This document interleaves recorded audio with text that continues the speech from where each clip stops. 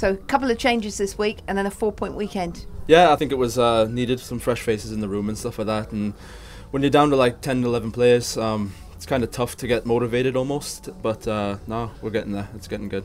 Not long for the new guys to settle in, but they seem to be doing all right. Yeah, uh, Jonas the goalie, he's doing a fantastic job. He's doing everything what we need him to do, stop the puck, and then we'll clear out his rebounds, and it's going really well.